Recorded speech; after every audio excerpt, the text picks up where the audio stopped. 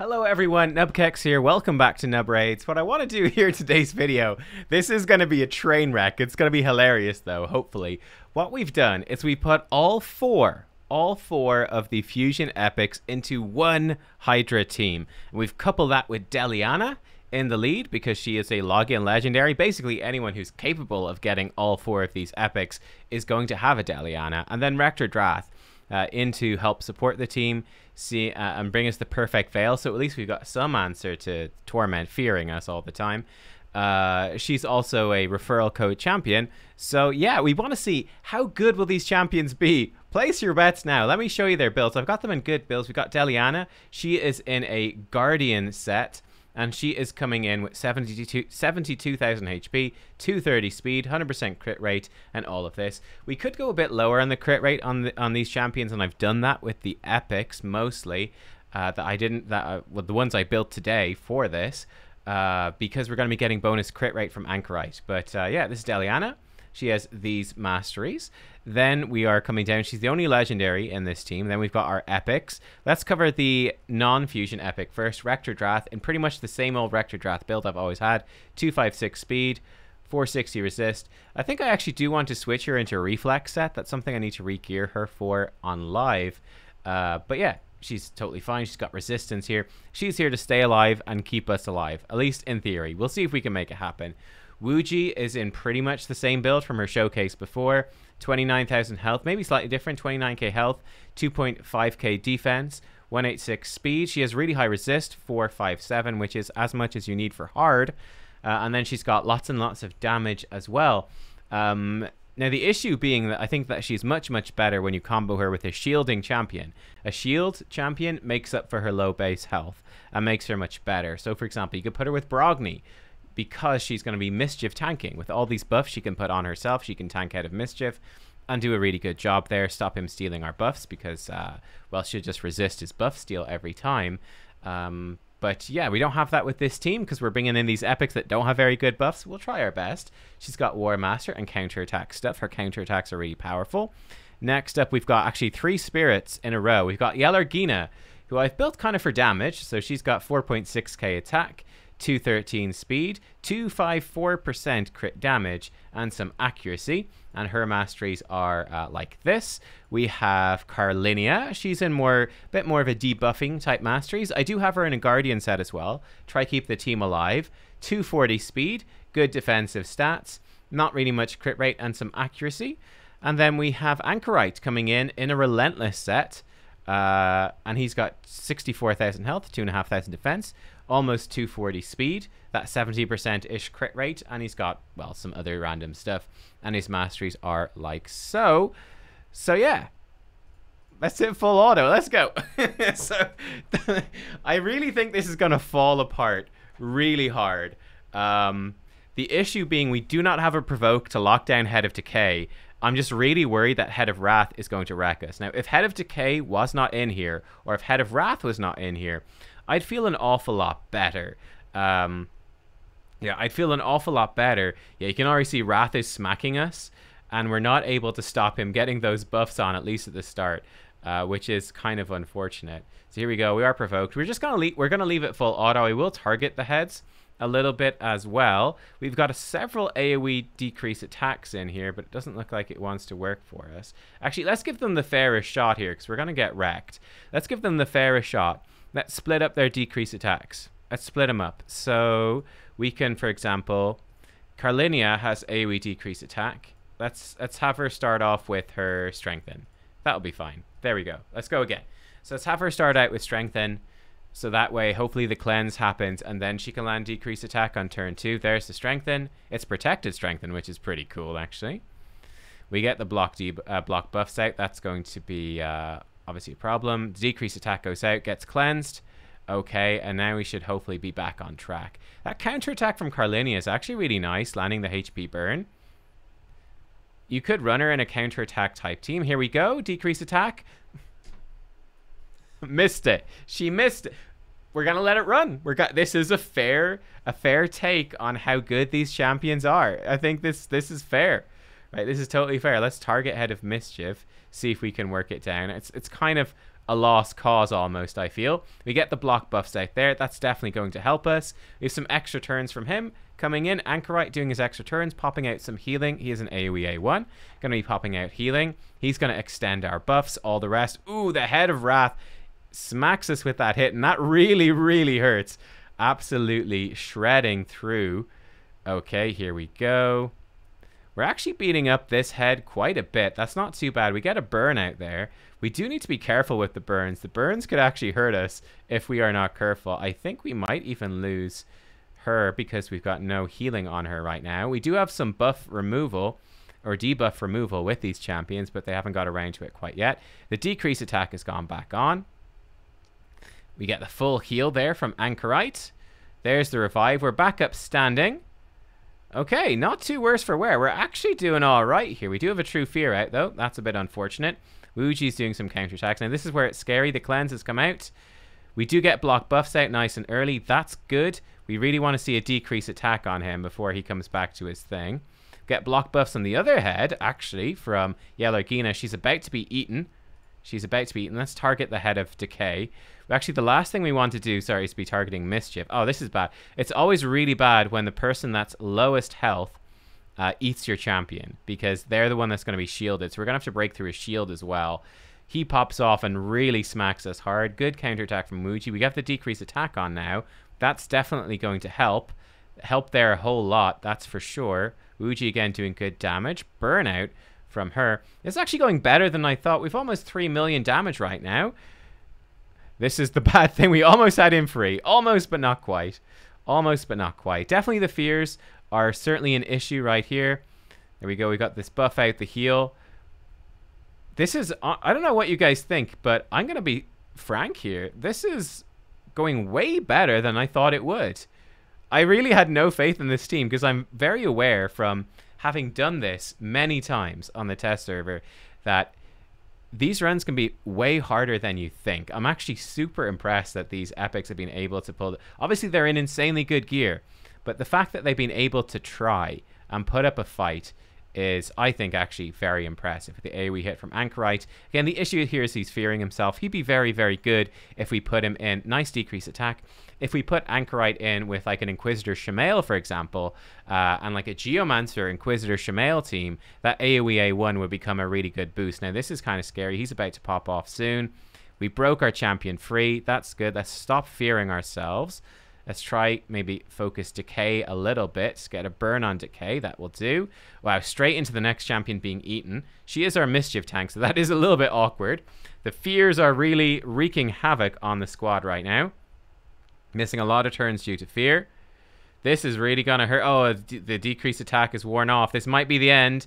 Massive hit comes in. The strengthen from Deliana definitely helping to soften the blow.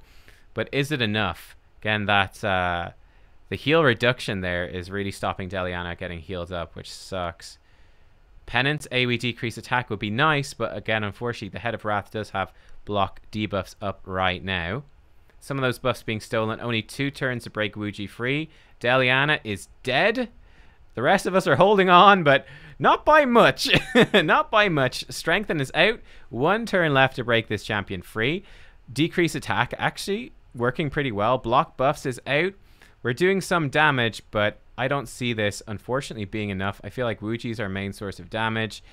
We do land the hit. We get the HP burn. Can we get another hit out? Doesn't look like it, and she's gone. Wuji is gone, but 4.7 million. 4.7 million. Now, if we were to play this on full auto and be targeting like the A1 with Rector Drath and such like that, let's try to smash this shield, but I don't think we're quite going to have enough damage here. Um, yeah, you know, I'm actually, like I said, this is a train wreck, but much less of a train wreck than I expected. And I, I do, I actually feel like with these champs, I feel like we're being really screwed up by this, the combo of heads that's in this rotation, I think is really bad for us. You know, because we've got no provoke for decay, we've got a little bit of stuff to deal with with torment, but not much. I feel like we don't have the tools that we want. We don't have the tools that we need. It's definitely making it tougher. We're actually up to 5.4 million though. We're trucking along. Here we go. I think it's going to fall apart pretty soon. We've got three turns to break him out. He just got a speed boost, two turns left. Health is going low. Luckily, we do have that Deliana passive kicking in, really helping us a ton here. Um, but yeah, this this is this is pretty bad, pretty bad news at this point. The healing from uh, Anchorite's A1 is fairly small, fairly insubstantial. Got a bit of a hit coming out. One turn to break him out. Again, I think we just lack the damage. Yalargina built with as much damage as we can, but she's just not doing much. We don't, with this team, have um, a decreased defense, which definitely hurts the damage output. Uh, none of these epics have it, simply enough. None of them have it. So full heal on Mischief is coming up in a second. We are down two champions. Uh, I think we get the gist of how this is working. Um, let me cut. Let me let's let this run out. I think we're gonna be dying pretty quickly here. We'll try to break this champion free. I'll be back when this is over. I don't think what we've we're we're long left in this world. I don't think we've got long left. All right, and there we go, ladies and gentlemen. We get to the end of hard, 7 minutes 44 in full auto here, and we did 6.41 million damage. Um, yeah, I mean, so obviously for hard, not good. The funny thing is, though, actually, if this was on normal difficulty Hydra, um, obviously I've got much better gear, but normal is significantly easier, and this would have been a one key on normal. So that's actually kind of cool. In fact, I'm going to go and I'm going to run this key on normal in a second, and we'll see how they do, but they should be able to get the one key. If we look at this stuff overall from this performance on hard, what can we see? Deliana obviously really stands out with that Guardian set, keeping people alive. Uh, doing the top damage with just all of her AoE attacks and just her survivability. I think her passive really stood out. Her block bust is very good. Wuji really pumped out a lot of damage, but she got eaten very early on, and then we didn't have enough damage to break her out. Um, Yellergina, or Yelagurna, excuse me, Yelagurna, once again reinforcing to me that she's just an absolutely terrible champion. She just absolutely sucks. There's no way around it. She was built for damage, and her damage is awful. It's just so bad. Um, so she's a terrible champion. Carlinia, built as a support, massively outdamaging her with a HP burn. Uh, Anchorite doing okay-ish. Um, I think the issue, I think Anchorite's a great champion. Definitely the thing he struggles with in this team is he is there to extend your buffs. Um, but we don't have that many good buffs. For example, if we were to put a Brogni in instead of Yellergina, the Brogni shield helps everyone stay alive. Uh, the block debuffs protects us. Increase attack is nice. Anchorite extends it. Wuji is mischief tanking, so we're all good. And it becomes a, a much stronger team overall. But we're sticking with the theme. Uh, all right, that was that was hard. Let's see how they do on normal. I won't make you watch normal, but I'm gonna hit auto and I'm gonna let it run, and I will let you know how it, how it does. What do you guys think? I'm expecting the one key. I'm expecting the one key. Maybe eight million. I'll see. We'll see. Let's see how it goes. All right, guys, we're coming to the end of the run. There we go. 11 minutes in, I think 140 turns. 12.54 million damage dealt on normal difficulty. That's really cool. That's actually fantastic. It's uh, not quite, but almost double the damage that you need to get the top chest here on normal. Uh, and the team actually ran really smoothly. There's one thing I need to check. I might need to rerun this. Anchorite, for whatever reason, he just spams his A1. He does the heal, but he doesn't do the buff extension. I need to double check I didn't turn that off, which would be embarrassing.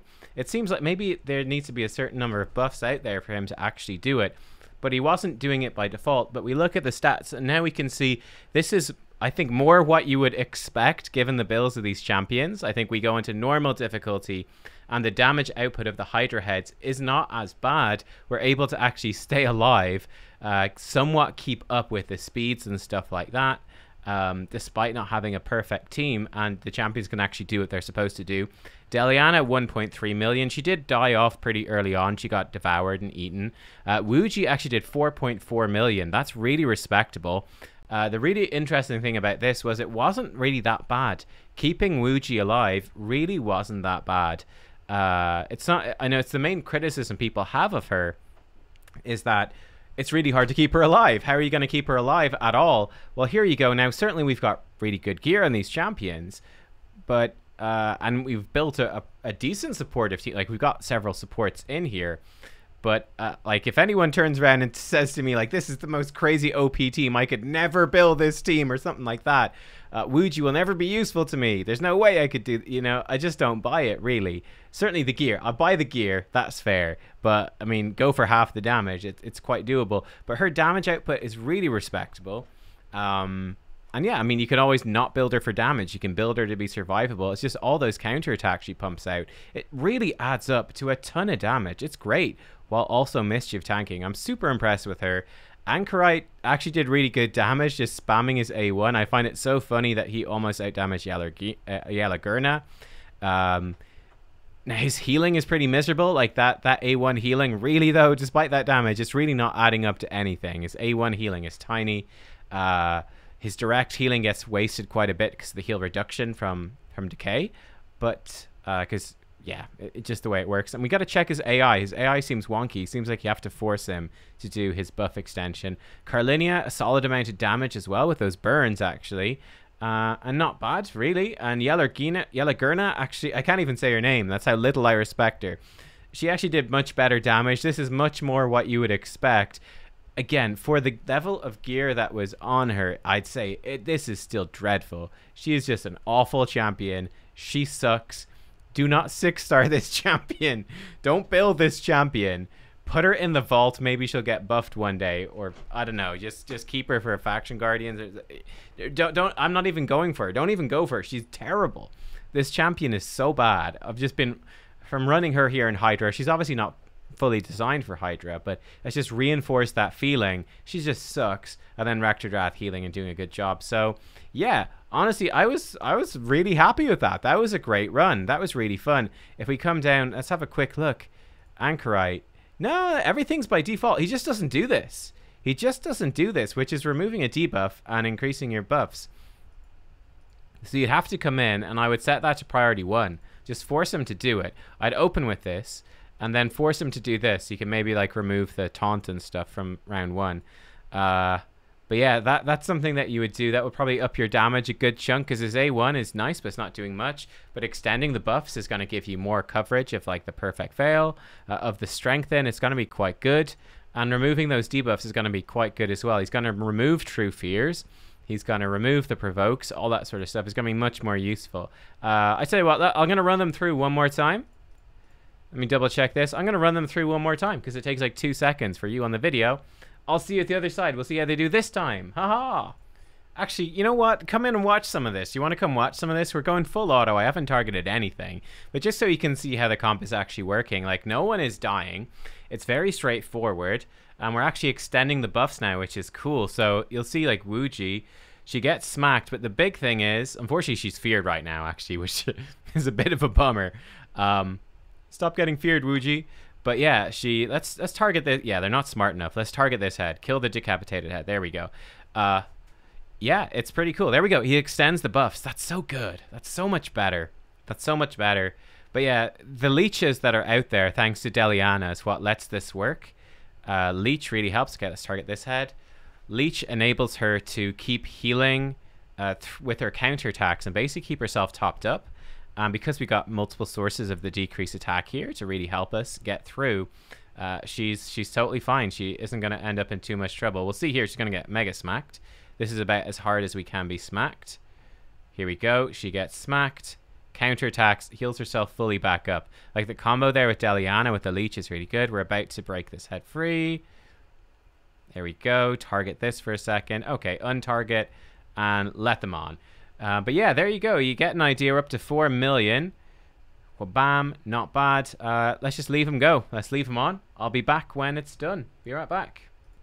All right, basically the same score again. Pretty much worse off, actually. Uh, yeah, essentially what happens is that uh, if Wuji gets eaten, Wuji got eaten relatively early by Head of Mischief, and it just everything falls apart at that point. Because when Wuji gets eaten by Head of Mischief, Head of Mischief starts stealing turn meter. It devours her really quickly. There's almost no real damage on the rest of the team. They're all medium damage, some of them, but no really high damage healers, so they don't break her out very quickly. Much easier if someone else gets, you know, if that luck goes your way, if someone else gets eaten, Wuji breaks them out super fast with her counter attacks. Like it's no problem at all. But when she gets eaten, uh, things fall apart fast. But um, yeah, so I think pretty consistent. You've seen a few different runs, you get an idea. my opinions remain pretty much the same. Wuji has continued to impress. I think for normal, she's incredible. I think for hard difficulty, you do need to bring a good supportive team with you, but that's that's hard difficulty Hydra. You always need to bring a good supportive team. So I mean, uh, you might have some magical damage dealers that work with zero support champions. I'd be happy to see them. But no, I just honestly, I'm really impressed by her. Deliana is great here as well. Anchorite, he seems okay. Um, I think Anchorite, he didn't really thrive here. He's going to thrive much better in teams that have those really good buffs which we don't super have. Carlinia wasn't bad. I'd actually say you could potentially run her with a retaliation set. Her A1 is very strong. Landing that HP burn is not the best chance, but it's a solid chance. With a retaliation set, some revenge accessories, I think that'd actually be really good on her. Yeah, the Gurna, She's doing okay damage, but considering her gear is terrible. And yeah, you get the idea, guys. There we go. All of the epics on Hydra. This actually turned out much more successfully than I thought yeah, much more successfully than I thought. Obviously, their gear is fantastic, uh, but yeah, nonetheless, uh, hopefully this was an interesting showcase of their different skills. Uh, thanks for watching. Hope you enjoyed. I will see you all next time. Bye bye.